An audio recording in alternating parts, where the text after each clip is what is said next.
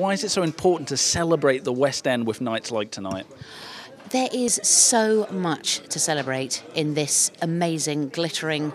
I'm not even going to say heart. I'm going to say heart, pancreas, and liver, And soul. and soul, that is the London West End, isn't there? Yeah, Uh, it's having now. I say, and I kind of consider. Oh, sorry, I kind of consider myself amongst the good burghers of, of the West End. Now I've done a couple of big West Yeah, End shows, and I, you know, it, it, it's an incredible collaborative effort. It, the risk that people take to put on shows um, and the breadth of talent, and I mean, it is properly humbling. And every day that I stand on the side of the stage and watch, whether it's children or you know people in Made in Dagenham, and I'm always in awe of the talent that is on the stage. It's incredible.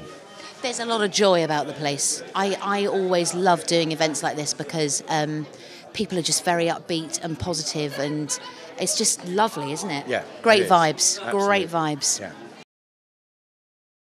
A huge night for Miss Saigon, but other notable winners, people like David Tennant and Tom Hiddleston for Coriolanus. I mean, do you think that's a demonstration of just the, the breadth of uh, and variety of talent on show in the West End? Yeah, I mean, across the board tonight, literally from.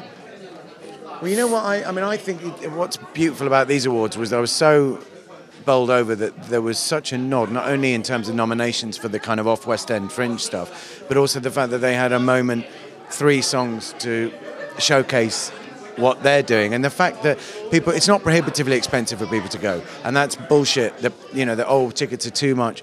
You can go and see an incredible show at the Southwark Playhouse or the Union or the Tabard for 20 quid and see people that are world class. And that's, you know, that's amazing. Or the Ealing Questors Theatre. I'll do it for free.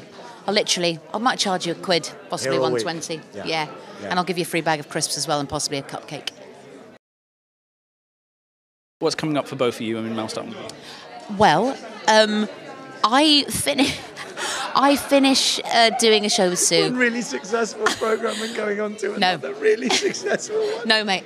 No, very much back into the cupboard, back into the cupboard of Bake darkness. Off, and then Bake Off. And then a little bit of Bake Off. And then the a little bit of Bake successful Off. show Yeah. BBC Two has ever No, done. no. Now, Me Steve, no. staring into the jaws of, of unemployment. It won't be for long. well, who It won't Well, be no. for long, Stevie. It won't be.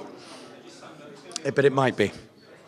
It might be. It won't I've a lot of child support to pay. It's not fun. No, listen. You create your own work. He does brilliant characters, yeah. amazing characters that will become at the forefront. No, Steve, come on. I'm just, I'm just, you know, blowing up the billows of, of your Thank ego. you. Thank you. I, thank you.